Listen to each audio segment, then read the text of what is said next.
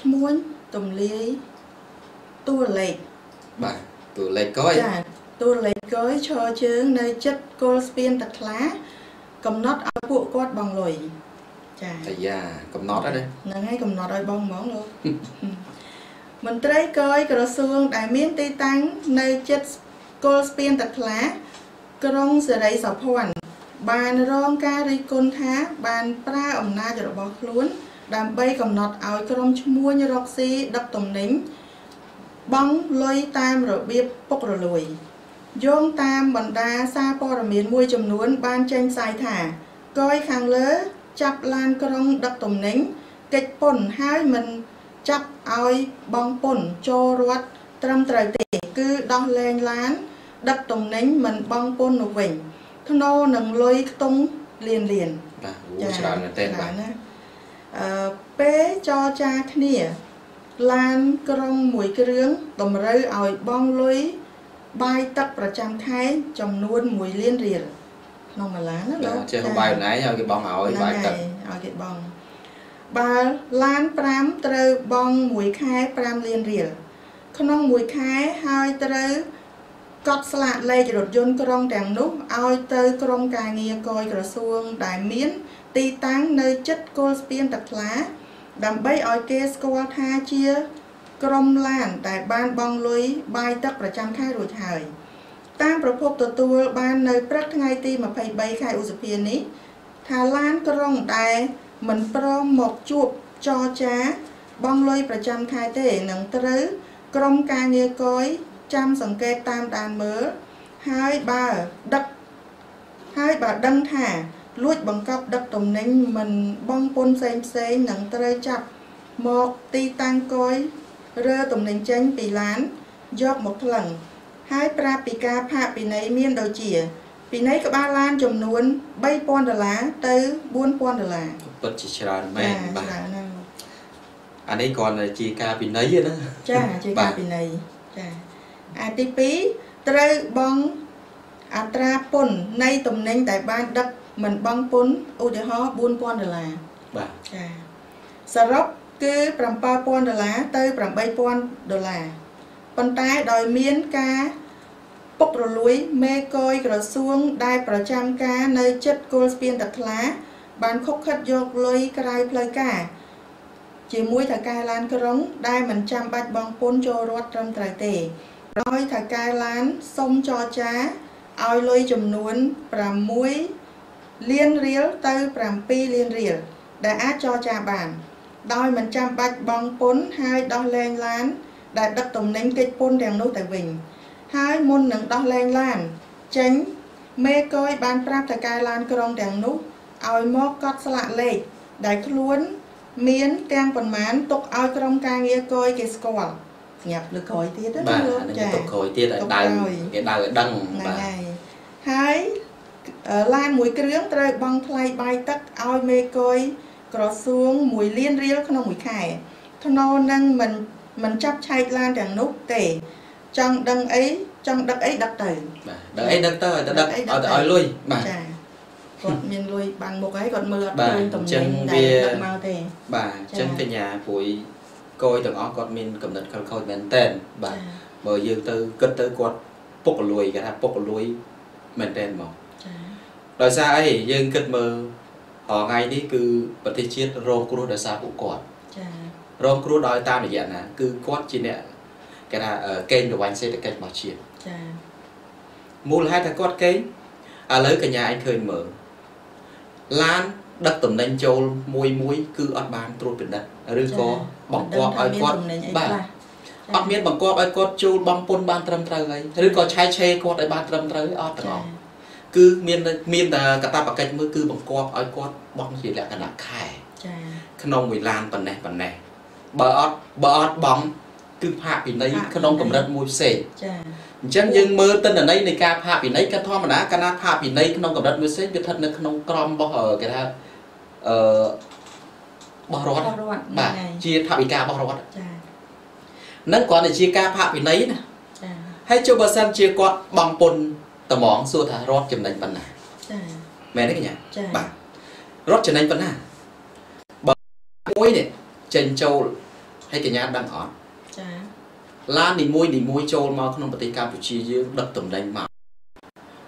គ្រាន់តែបងតែ มันបានគេថាมันបានទាន់បានគិតដល់កន្លែងថាអឺឆែកឆេរថាតំណែងហ្នឹងជាតំណែងប្រភេទអី ចា បាទអត់ដឹងជាតំណែងប្រភេទអី ហ្នឹងហើយ ហើយកញ្ញាយល់បាទកញ្ញាយល់យ៉ាងម៉េចដែរក្នុងដែលជាពលរដ្ឋដូចគ្នាចុះបើសិនជាតំណែងហ្នឹងតំណែងដែលហូរចូលមកគឺតំណែងដែលខូចគុណភាព ចា តំណែងដែលជាប្រភេទតំណែងដែលប៉ះពាល់ដល់សុខភាពបងប្អូនប្រជាពលរដ្ឋតើគាត់មានគេថា គាត់មានការទទួលខុសត្រូវអត់អត់មានទេមែនទេចាអត់មានបាទក៏អត់មានទទួលខុសខុសត្រូវទេយល់គាត់ដឹងតែលុយចូលខ្លួនគាត់បាទជាក់ស្ដែងឥឡូវយើងគិតមើលឥឡូវយើងគាត់តែនិយាយរឿងបន្លែផ្លែឈើកប៉ិចកប៉ុកផងចាដែលកម្មគ្រប់ត្រូលគាត់ឆែកបានពីម្សិលមិញម្សិលមួយថ្ងៃនេះបាទគឺបានពី3មុខផងបាទចាអាហ្នឹងប្រហែលជា25មុខផងគាត់ឆែកឃើញសិតតែជាសារធាតុគីមីចាដែលផ្ទុកសារធាតុគីមី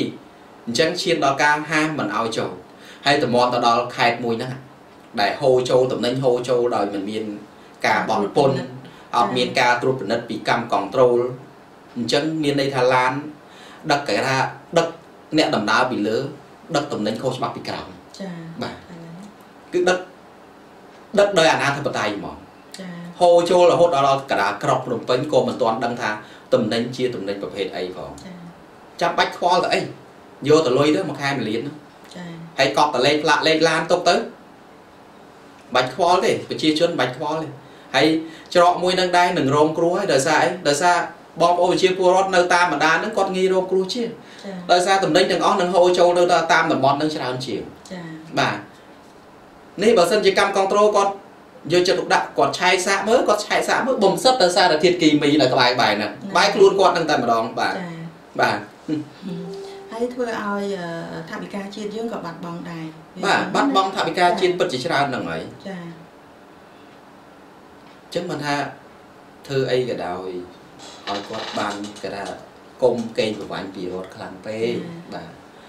ឲ្យមានចំណូលចូលរដ្ឋកាន់តែខ្ពស់ទៅពាក់ខែមន្ត្រីរាជការគុំតាមតាមអញ្ចឹងណាបាទហើយពិតជាឡើងតាមហ្នឹងចា ព្រោះបើគាត់កេងប្រវាញ់គាត់ទៅដាក់តែហៅប៉ៅគ្នាគាត់ប្រហែលរូបឧទាហរណ៍ថា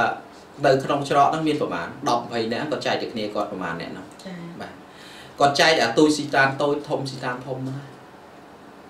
អាទូចឲ្យយកតិចទៅអញធំមិនយកច្រើនចាបាទ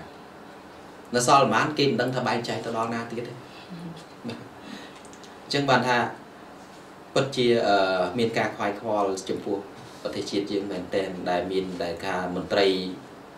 ពួកមន្ត្រីលពៅឆ្ងោទាំងអស់ហ្នឹងបាទក្របលពៅបាទលពៅស្ងោក្របលពៅអីហ្នឹងគឺគេថាអឺកតេលធំបន្លំដេកបាទកតេលកាន់តែធំបន្លំដេកទៅវាគេមើលអត់ដឹងបាទរឿងអីលាក់វាមិនចិត្តទេលោកក៏បាទតែចេញមកទេព្រោះប្រជាពលរដ្ឋយើងគឺជាផ្នែកចំហែងបាទគាត់នៅទីនោះគាត់នឹងដឹងថានឹងមានរឿងអីកើតឡើងអញ្ចឹងសូមឲ្យអឺក្រោយដែលនៅតាមច្រកហ្នឹងគួរតែអឺពង្រឹងនិងការត្រួតពិនិត្យ ឡើងវិញទៅ បាទ ចាมันអាចលាក់កំបាំងបានយូរទេតែខុសគឺគង់តែដឹងចា អញ្ចឹងបានថាគេថាអឺទោះបីយើងធ្វើអីក៏ដោយมันអាចលាក់ភ្នែកមហាជនបានទេកញ្ញា ចា គេថាអឺផោមក្នុងទឹកនៅគេលឺនៅគេ ហ្នឹង បាទហើយកដាស់ខ្ចប់ភ្លើងអត់ចិត្តទេកញ្ញាទៅ ចា៎ ចប់យូរយូរវាក្តៅវាឆេះ ចា ហើយដំរីកញ្ញាដែលលឺពាក្យចាស់គេនិយាយថាដំរីឯងកញ្ញា ចា ដំរីពេលស្លាប់ទៅយកស្អីបាំងបាំងចិត្តអត់ បាំងចិត្តទេយក បាទ តែអីទៅបាំង យកបាំងមកចិត្តមែនទេបាទมันយូរมันឆាប់គង់តែគេដឹងបាទបាំងមកចិត្តបោដំរីប៉ុណ្ណាណៃ ចា បាទហើយអឺដូចជាអស់លោកដែលជាកម្មគ្រប់ត្រូលចឹងដែរព្រួយមួយរយៈនេះគឺអឺគេថាតាមប្រភពដែលវិជាពលរដ្ឋគេនិយាយមកគឺទី1គៀបសង្កត់ទៅលើបុគ្គល ចា តាមបណ្ដាគេថាអឺ ច្រកអន្តរជាតិបងប្អូនជាពលរដ្ឋគាត់រស់ស៊ីជាលក្ខណៈកជើល្អីចឹងណាចាឆ្លងកាត់ហ្នឹងគឺគាត់គៀបទៅលអស់គេថាអស់ប្រេងអស់ខ្លាញ់ហ្នឹងហ្នឹងមកដល់ផ្ទះនៅសល់អីគេនៅសល់តែលុយដើមនោះចាប្រាក់ចំណេញបាត់អស់ចាបាទហើយមួយទៀតគឺគេថាពុកលួយគេថាគាត់ពុកលួយជាលក្ខណៈប្រព័ន្ធគ្នាគាត់ហ្នឹងហ្មងចាបាទពុកតំណែងចេញចូលគឺស្រែកទៅលើគាត់ថាគាត់និយាយ គាត់ចង់និយាយមិនក៏បានចាគាត់ចង់ដាក់ក្នុងរបាយការណ៍ជូនរាជរដ្ឋាភិបាលមិនក៏ត្រូវចាបាទសេតែគាត់អញ្ចឹងនៅសល់ប្រហែលគឺគាត់ចែកគ្នាគាត់ចាគាត់មិនបានគិតពីកន្លែងថាសុខទុក្ខរបស់គេថាប្រជាពលរដ្ឋទេបាទរបស់រដ្ឋទេបាទរដ្ឋពួយថាវិការដែលបានមកទាំងអាមាម៉ានហ្នឹងគឺមានន័យថាយកអភិវឌ្ឍដើម្បីកសាងប្រទេសជាតិឲ្យរឹងមាំចាទី1គឺទី2គឺដើម្បីគេថាអឺកាលណាដែលមានសេដ្ឋកិច្ចខ្ពស់ តំណែងចេញចូលឆ្លងកាត់ដ៏មានការបង់ពន្ធត្រឹមត្រូវចាគឺធ្វើឲ្យកំណើនសេដ្ឋកិច្ចរបស់ជាតិយើងវារីកចម្រើនបាទហើយរាជរដ្ឋាភិបាលយើង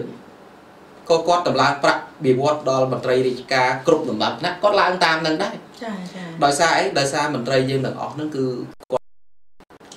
គាត់មិនកេងប្រវ័ញ្ចពីជាតិគាត់គិតពីផលប្រយោជន៍រួមគាត់អត់បានគិតគេថាមិនគិតពីអាកន្លែងអឺប្រយោជន៍ផ្ទាល់ អញ្ចឹងបានថាគួរណាស់គាត់មានការភ្ញាក់រលឹកទៅបើថាកេងក៏កេងចោះតែកុំកេងខ្លាំងពេកចាបើប្រទេសគេដតីវិញណាគេកេងដែរតែគេកេងនេះគេខ្ជាក់បាទដូចជារឿងដូចថាធ្វើរឿងអីមួយលុយទាំងអស់ហ្នឹងគេយកទៅប្រើការចា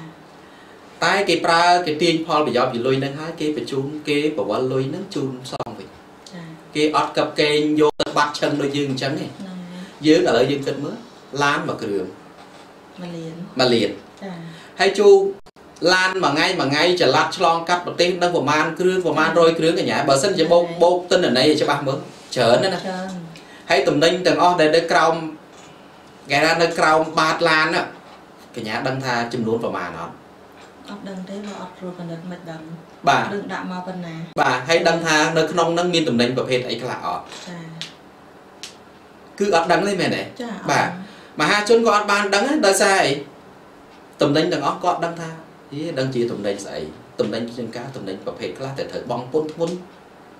មករាជរដ្ឋាភិបាលកម្ពុជាយើងចាព្រោះតំណែងខ្លះត្រូវបង់ពន្ធចូលមករដ្ឋគឺទៅក្នុងកម្រិតខ្ពស់ចាហ្នឹងហើយមានតាមប្រភេទបាទទំនិញតំណែងខ្លះគឺបង់ពន្ធនៅក្នុងកម្រិតមួយទៀតចាតែយើងជឿជាក់ថាបើសិនជាតំណែងទាំងអស់ហ្នឹង ចូលមកប្រទេសកម្ពុជាដោយមិនមានការឆ្លងកាត់ហើយមានការខុបខិតពីមន្ត្រីគយក៏ដូចជាមន្ត្រីជំនាញពាក់ព័ន្ធតំណែងទាំងអស់ហ្នឹងគឺមិនមែនជាប្រភេទតំណែងគេថាបង់ពន្ធតិចតួចទេចាគឺតំណែងច្រើនចាអញ្ចឹងកាលណាបង់ពន្ធច្រើនធ្វើឲ្យឈ្មោះទាំងអស់ហ្នឹងវាបាត់ចំណូលបាត់ចំណូលបាត់ចំណូលព្រោះរត់យើងត្រូវការច្រើនចាហើយបងប្អូនច្រើនហ្នឹងគឺមានន័យថា ទី1តំណែងហ្នឹងវាយ៉ាងម៉េចតំណែងហ្នឹងមានគុណភាពហើយយើងអាចស្ទង់បានដឹងថាតំណែងហ្នឹងអាចចូលបានទេគុណភាពវាអត់ត្រូវនឹងអ្វីដែលគេហៅតម្រូវការរបស់ប្រជាពលរដ្ឋចាចូលមកដល់ភ្លាមធ្វើឲ្យប្រជាពលរដ្ឋឈឺជាក់ស្ដែងដូចជាបន្លែមានសារធាតុគីមីកញ្ញាមានអារម្មណ៍យ៉ាងម៉េចដែរមានអារម្មណ៍ចង់ថាចង់បន្តនៃការហូបសារធាតុគីមីនឹងទៀតឬយ៉ាងម៉េចដឹងតែមានហើយរឿងអីដែលបន្តទៀតឬមិនត្រូវអឺ រកណាដែលបន្លែដែលមានជាតិធម្មជាតិបាទចាអញ្ចឹងបានអឺនៅក្នុងប្រទេសកម្ពុជាយើង គឺកំពុងតែមានគេថាវគ្គបណ្ដុះបណ្ដាលបាទវគ្គបណ្ដុះបណ្ដាលជាច្រើនដែលត្រូវបណ្ដុះបណ្ដាលឲ្យបងប្អូនប្រជាពលរដ្ឋខ្មែរយើងគាត់បានយល់ដឹងខ្ពស់ពាក់ព័ន្ធនឹងសារធាតុគីមី ដែលមាននៅក្នុងបកប់នៅក្នុងបន្លែគឺត្រីសាច់ឥឡូវមានដល់ប្រហិតមានដល់អឺសរសៃមីបាញ់កាញ់ទៀតគេណា ចាច្រើនមែនទែនអញ្ចឹងមានន័យថាប្រទេសកម្ពុជាយើងរងគ្រោះណាស់រងគ្រោះគេថាឃាតករលាក់មុខចានៅតាមរយៈដែលអស់លោកដែលគាត់បដ ாய் ឲ្យហូរចូលតាមដោយសារចង់យកអាកន្លែងអឺគេប្រយោជន៍មកមកក្តាប់តូចចាចង់យកប្រយោជន៍មកក្តាប់តូចតែធ្វើឲ្យសាយភាយពេញកណ្ដាលទីក្រុងទៅហ្មងចាមិនត្រឹមតែទីក្រុងទេគឺភាយពេញរហូតទៅដល់តាមជីក្រុងទៀត ព្រោះកណ្ដាលចូលដល់ក្រុងគឺកន្លែងក្រុងហ្នឹងគឺកន្លែងស្តុកចាចេញពីកន្លែងស្តុកហ្នឹងចែកចាយចែកចាយតាមបណ្ដាខេត្តចាបាទចែកចាយតាមបណ្ដាខេត្តអញ្ចឹងខេត្តនីមួយៗពិតជាមានការរងគ្រោះចាអានេះអានេះយើងនិយាយពាក់ព័ន្ធនឹងរឿងថាដែលកយគាត់ប្រើគេថាអឺរូបភាពមួយបឡំបឡំចាប្រើរូបភាពមួយបឡំអូរថយន្តហ្នឹងរថយន្តក្រុងហ្នឹងអាមានដឹកអី គាត់ដឹកតអ្នកដំណើរមកគាត់ដឹកតអ្នកដំណើរហ្នឹងហើយអីវ៉ាន់គាត់តិចតួចហ្នឹងមានស្អីបាទហឹមដូចជារឿងកាលប្រហែលឆ្នាំមុនកញ្ញាតំណែងដែលឆ្លងកាត់ពីតាមរយៈឡានក្រុងចាកញ្ញាមានចាំទេដែលបុករះទៅលើបងប្អូនប្រជាពលរដ្ឋនៅក្នុងខេត្តស្វាយរៀងយើងហ៎ចាបាទ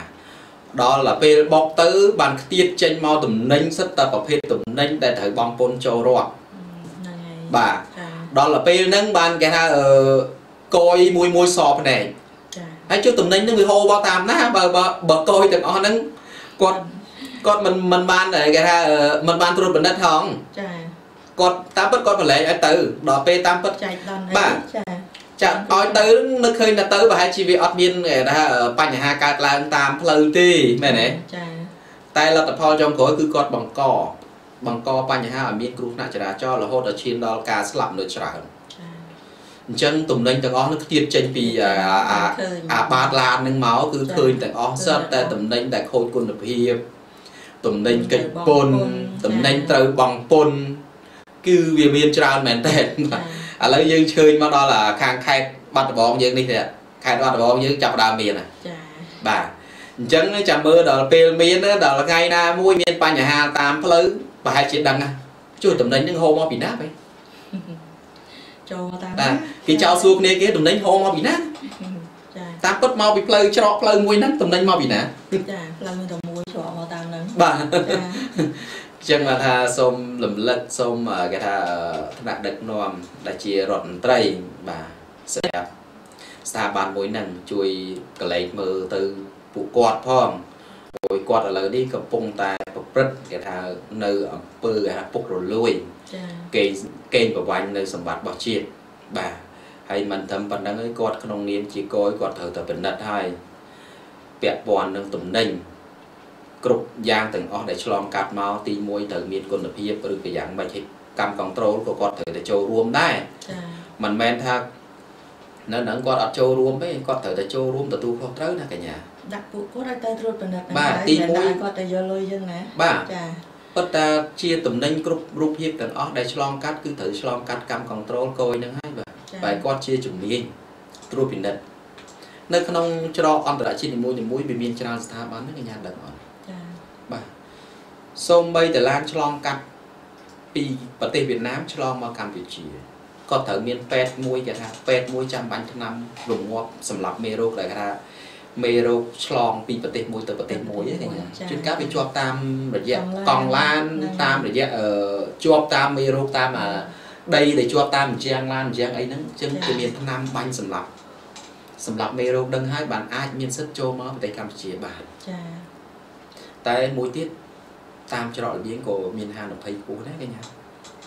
ព្រោះឥឡូវនេះប្រទេសយើងឥឡូវនេះកំពុងតែពេញនិយមហូរហូរទៅអាតំណែង កិច្ចពន្ធតំណែងខូចគុណភាព មានសារជាតិគេថាมันអាចដើរលើទីផ្សារបានអញ្ចឹងវាហូរតាមរយៈអឺច្រករបៀងនានាអញ្ចឹងហើយនឹងតាមរយៈឡានក្រុងហ្នឹងណាកញ្ញាបាទវាហូរតាមហ្នឹងអញ្ចឹងចាអញ្ចឹងធ្វើឲ្យប្រទេសយើងទី1បាត់នៅចំណូលទី2បាត់នៅគុណភាពទំនិញចាព្រោះប្រទេសគេជិតខាងគេប្រយ័ត្នណាស់ប្រជាជនគេគេប្រយ័ត្នពី មុខមហូបទំនិញគឺខាងកម្មគ្រប់ត្រូលគេគេចុះទៅត្រួតពិនិត្យគ្រប់ទីផ្សារទាំងអស់ហើយទំនិញដែលគាត់មិនតិចក៏គេមិនឲ្យចរាចរណ៍លើទីផ្សារដែរកញ្ញាចាបាទយើងអញ្ចឹងបានយើងសង្ឃឹមថាអឺខាងកម្មគ្រប់ត្រូលយើងហើយក៏ជាដូចជាកយដូចជាជំនាញពាក់ព័ន្ធអីផ្សេងផ្សេងក៏ត្រូវតែយកចិត្តទុកដាក់គួរណាស់តែយកចិត្តទុកដាក់ឡើងវិញបាទគុំបន្តដេកលក់នៅ តទៅទៀតបាទចា៎ល្មមល្មមបានហើយណាគូដល់បងប្អូនពលរដ្ឋយើងផងច